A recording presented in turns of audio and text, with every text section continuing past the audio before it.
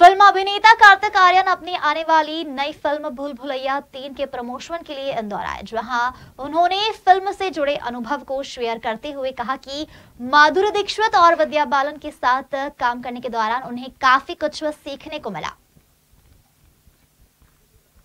भूल भुलैया थ्री के प्रमोशन के लिए इंदौर आए कार्तिक आर्यन ने कहा कि भूल भुलैया थ्री में काम कर काफ़ी एक्साइटेड हूँ। इस फ़िल्म में माधुरी दीक्षित और विद्या बालन के साथ काम कर बहुत ही अच्छा एक्सपीरियंस रहा। भूल भुलैया थ्री फ़िल्म में काफ़ी कुछ नया भी देखने को मिलेगा। जिस तरह भूल भुलैया टू को दर्शकों से काफ़ी प्यार मिला था, उम्मीद है कि दर्शकों को भूल भुलैया थ्री भी काफ़ी पसंद आएगी। Bureau report. ज़्यादा लोग जा पाएँ और फैमिलीज़ के साथ देखिए आई आई थिंक जिस तरीके का अभी तक रिस्पॉन्स वहाँ से हटा दे। मैं तो बस यही है कि आई होप जितना भूल भुलैया टू को प्यार दिया था, उतना ही भूल भुलैया थ्री को भी प्यार दिया जाए।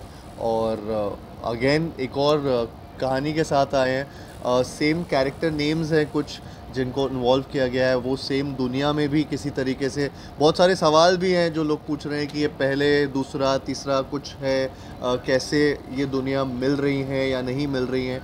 आई थिंक ये अब बस दो हफ़्ते और रह गए।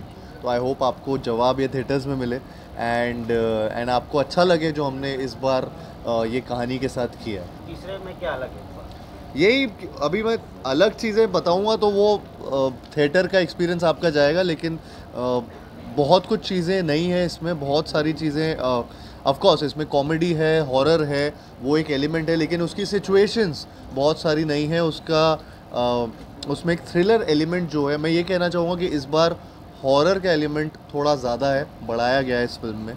और कॉमेडी तो है ही जैसे टू में था इसका एक बहुत लार्ज पोर्शन कॉमेडी है लेकिन थोड़ा थोड़ा हॉरर एलिमेंट इसमें पिछली वाली से थोड़ा ज़्यादा है।